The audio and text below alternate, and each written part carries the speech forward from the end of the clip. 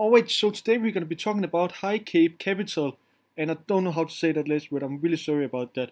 But its gains today, it is up by 136% just today, and that's $14.95. Although after hours is a bit down uh, by 3 uh, 3%, I mean. And as you can see right here, yesterday it went to about 10.92, and today just skyrocketed up to 25.87.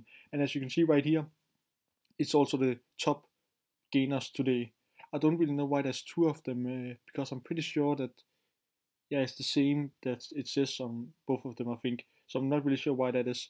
But what Highcape is, uh, I couldn't really find that much about it. Uh, I'm sorry about that because yeah I just couldn't. I was just like skimming around right here. It's headquarters in the United States, founded 2020, and it's something about healthcare focused.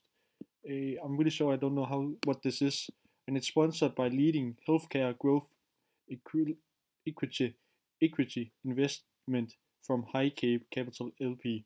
So I, am really I don't know any of these words right here. It's really it's I'm not English. You probably already heard that, but I'm just sorry. If you if you know something about this company, please company please leave a comment down the description, and I will maybe pin you or something like that, so people that watch this can easily find out what this company actually is. But yeah, that's it for this video. Thanks so much for watching this video and have a good day.